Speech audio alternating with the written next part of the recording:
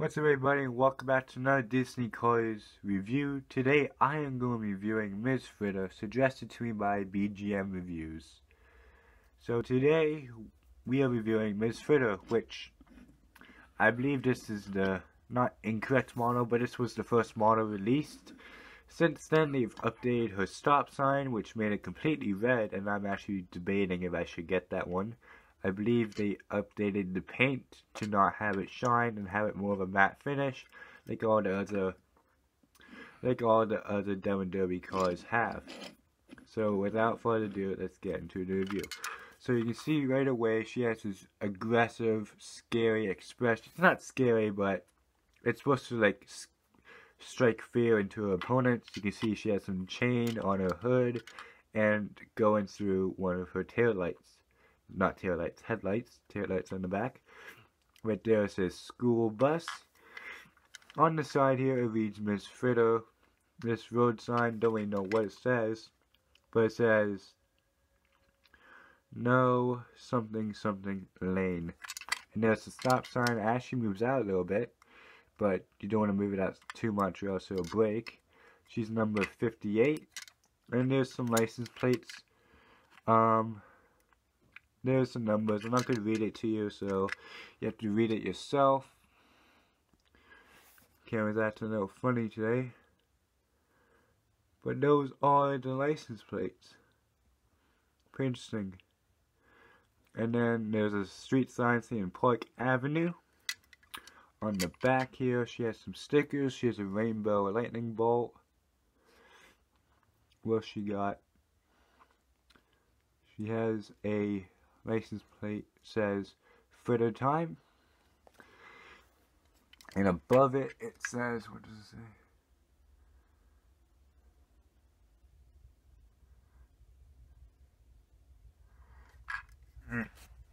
Um, above Fritter Time, it says something. I don't even know what it says, but you can probably tell what it says with a magnifying glass.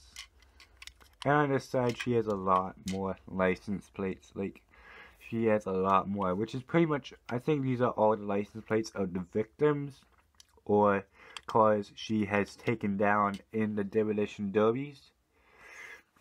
That's cool. It says Miss Fritter. And then 58 again with some paneling. And that's, the paneling's there because, yeah, I'm actually correct.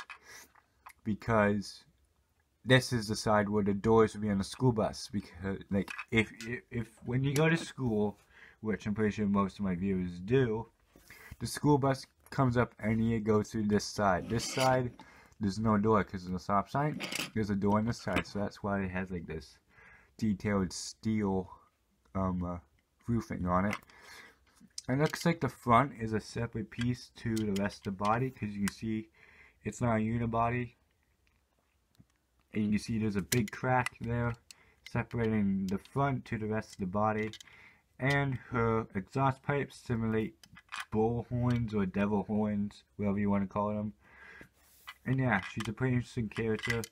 Here's the base of Miss Fritter pretty cool. Pretty cool. She's one of the best Cars 3 diecast deluxes released so far. And now without since we finished reviewing her, now let's get into comparisons with the other Demo Derby cars. So first off, let's compare with Taco.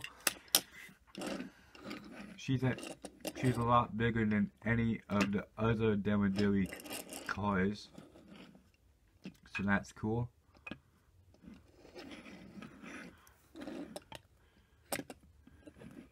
I actually unboxed it like five months ago, so if you haven't seen the unboxing video of it, you should go check it out.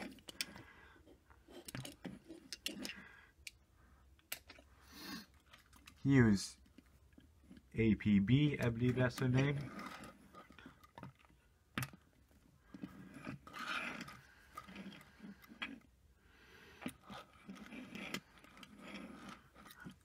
Here's Fishtail, as I say many times, my least favorite Demo Derby racer at the moment.